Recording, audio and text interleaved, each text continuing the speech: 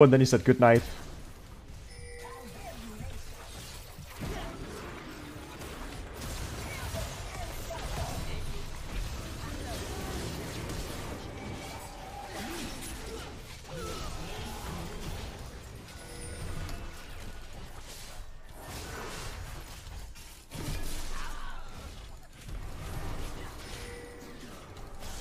Okay, nice.